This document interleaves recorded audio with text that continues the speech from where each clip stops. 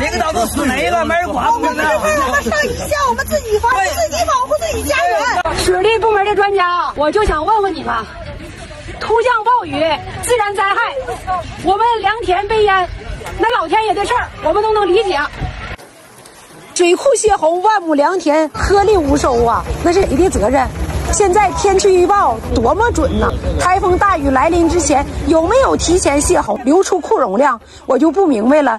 一千八流量放一天，如果你提前每天放六百，它对水库有没有啥影响？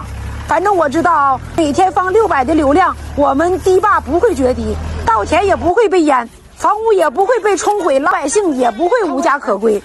这些专家们啊，你们拿着纳税人的钱，坐在办公室喝着茶水，嗑着瓜子儿，在每一次做出决定的时候，你们有没有把老百姓的利益放在第一位？天灾没有办法，我们认，人祸谁负责？别给我们农民惹急眼了，惹毛了啊！都不种地了，你们吃啥喝啥？你们还嘚瑟啥？快手，拥抱每一种生活。